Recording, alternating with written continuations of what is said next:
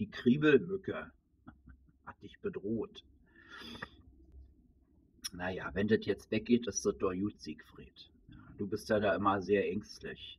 Du denkst da nicht äh, normal. Ähm, so schnell geht das nicht. Ja. Und ähm, irgendeiner hatte das mal erzählt mit Blutvergiftungen und solchen Geschichten.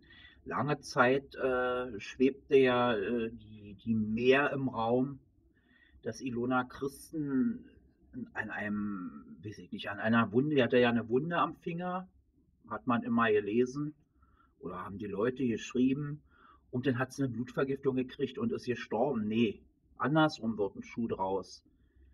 Die war da irgendwo, weiß ich nicht, und ist die Treppe runtergefallen und äh, hat ein Knochen hat sich da verpiekt in